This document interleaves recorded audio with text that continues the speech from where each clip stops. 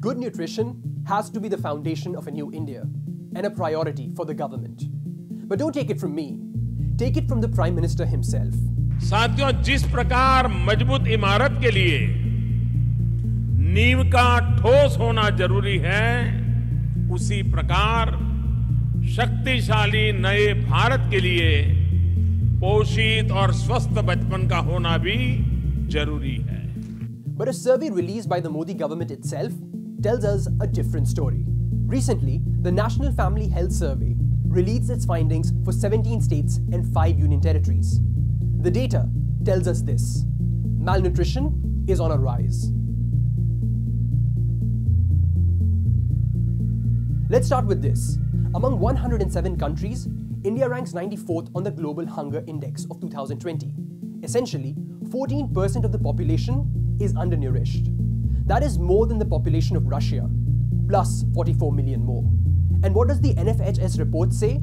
Child stunting has increased in 13 states, including developed states like Kerala, Gujarat, and Maharashtra.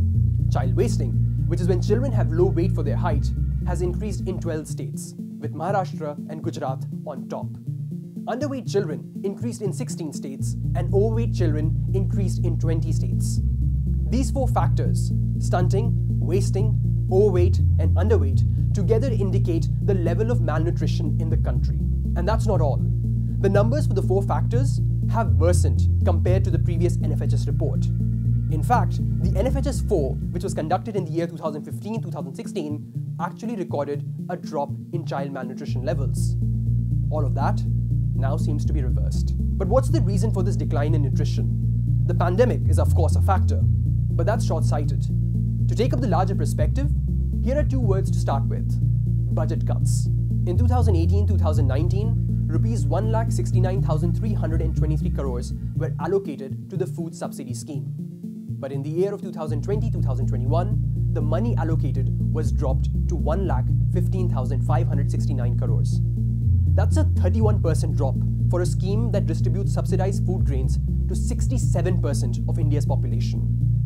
Even the midday meal scheme that in 2013-2014 had rupees 13,200 crores now has to operate with a budget of rupees 11,000 crores. And it's not just about the budget cuts. It's also about how the budget is flowing. The Pradhan Mantri Matru Vandana Yojana, which is a maternity benefit program crucial to the development of children, has issues in the way it's delivered. According to a Niti Aayog report, 28% of all Aadhaar based payments under the program have been credited to the wrong accounts. That's almost one in three cases. Even if a substantial budget were to be formulated, what about those who ensure the delivery of these schemes? Anganwadi workers and helpers who ensure on the ground that the nutritional schemes reach the people have low salaries, aren't recognized as government employees, and continue to be overworked and understaffed all at the same time. In fact, Anganwadi workers and helpers have been demanding and protesting over these issues for a while now. But evidently, the frontline health workers of the country don't cut into the foundation of a new India. In the wake of the NFHS report, several questions now remain to be answered. Will we be able to reduce our numbers on undernourishment coming out of a pandemic?